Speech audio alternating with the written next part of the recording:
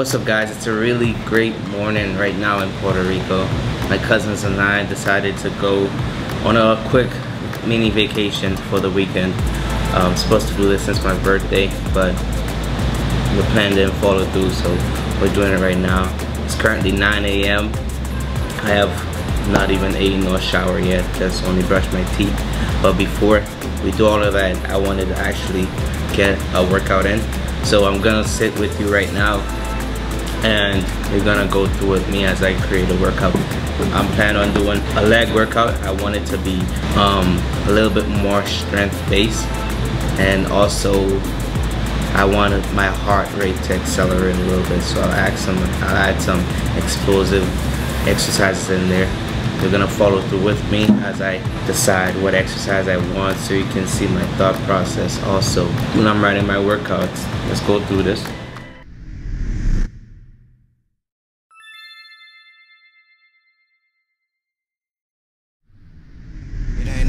Thing to do my thing, it's what I did the best. Yes, I copped that crib and bought two chains and then I hid the rest. And it's okay to do your thing, but just don't do the most. Uh-huh. I put my friends in that old Benz and took that to the coast. So guys, when I'm writing my workout routine, it's several things I think about first before starting the workout.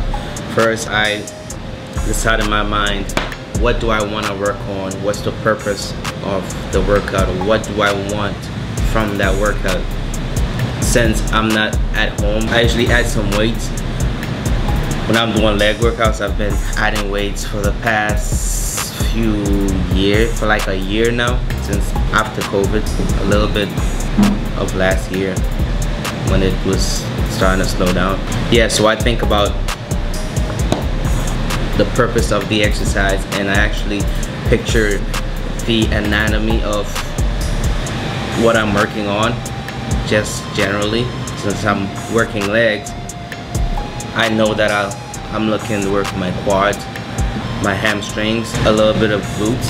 I'm not really focusing on like the exact muscles such as the rectus femoris and all those muscles. I just usually think of the general uh, muscle itself. I'm looking for strength exercises. So with strength exercises since you're doing body weight with no weight, there's a few things that you can do to actually make the exercise harder. Increase the tension of the exercise, which is you can make it slower, or you can work the muscles individually so you can isolate your squats. I usually add some pistol squat or okay let's let's start writing so I know exactly that I want to make it strength based and some explosiveness so let's focus on on hamstrings right now. Okay, so for hamstrings, we got. I'm thinking of you know squats.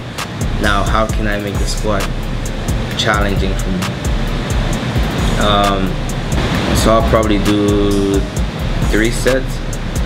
So I'll probably do three sets of the first. I like to superset my workouts also, guys. That way I actually get to work um, several muscle groups within one set. And it helps it especially when you have a short workout I don't like to just sit there and do 50 squats or 40 squats in a row. I feel like it's boring to me. So I like to superset my workout.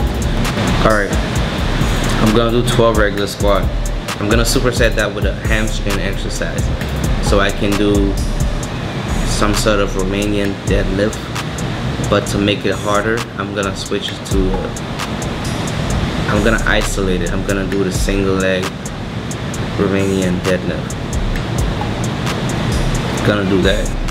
I'll probably do um, I'll do 10 sets. Now guys if I was doing these weighted I would have done weighted which is um, more of a focusing on strength-based type of thing, I would probably do six to eight reps, but those are a bit easier for me and those exercises doing a body weight. So that's why I'm doing 10 or 12.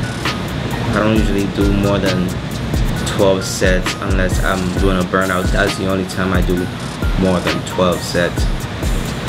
12 reps, sorry, 12 reps. Okay, so I'll do 10 single leg Romanian deadlift.